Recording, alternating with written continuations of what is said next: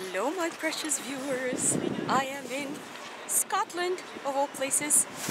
I don't know how this trip is happening. There's, well, anyways, at the end of the trip, once I am, uh, once I return to LA, I'm gonna tell you about all this, how it happened, and where I stayed, and how it was possible.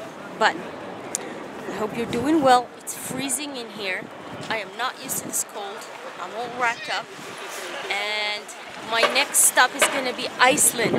So watch for it and I think I'm going to embark on a seven day fast in Iceland. I'm going to be swimming in sulfuric waters. It's incredible what's happening with this trip. Anyways, so today I want to discuss with you something very important.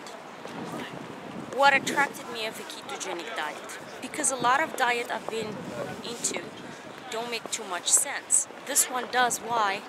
Because it's very sustainable for the planet. You don't have to eat that much. When you integrate fats in your in your diet, the amount of food or even protein is so minimal that it really makes sense. If eat, if everybody was on a ketogenic diet, we wouldn't have animal farming, we wouldn't have all this toxicity that's going on in the world. This is my opinion, of course.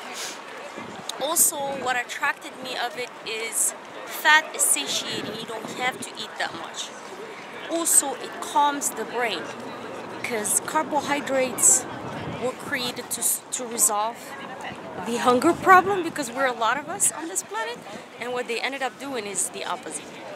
So I find the keto diet very interesting and when I found it it was by coincidence because I asked my dad what did my grandparent eat?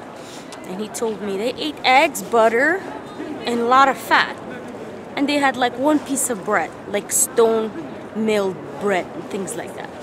So they didn't have a lot of carbs. And I said to myself, they lived a long time and they had excellent health. So that's when I discovered all the stuff about cholesterol, that cholesterol really is not it's not really harmful. In fact, your body produces cholesterol, it doesn't matter if you eat it or not. You know that, right?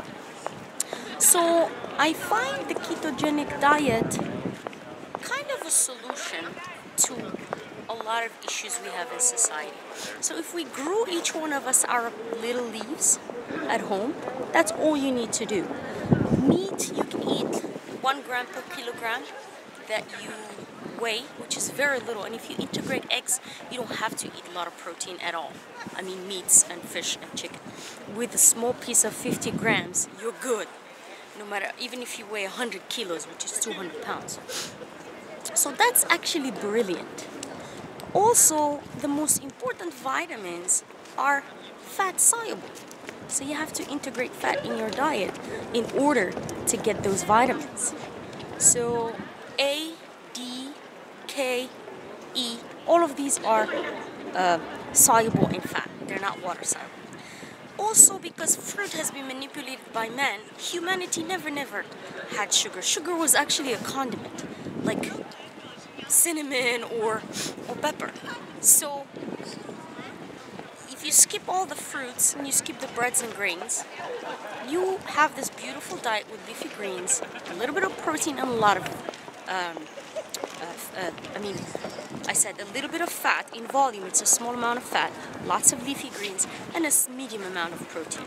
Eggs are essential. Eggs are very healthy for you. So that's the reason why I was so attracted to this diet and I wanted to share it with you today from Edinburgh where I'm spending a few days and uh, sending you a lot of love everybody and wishing you have started the day uh, in the right um, pace. Also, don't forget to watch my previous video to this one, how to get into ketosis the easy way. And uh, I will be uh, updating you. I'm going to be fasting in Iceland, I think. I hope I can. I'm going to try to plan it into my trip because I'm going to be swimming in hot springs and sulfuric waters. And then at the end of my trip, when I get to Los Angeles, I'm going to tell you how this trip happened, who made it possible, and I'm going to have a giant, well, I'll tell you more about it when I get back to you. So my last stop is Iceland. I'm gonna go back to Spain and then from Spain to Africa. Still have like a few weeks, maybe one month. All right, I love you guys. Bye, take care.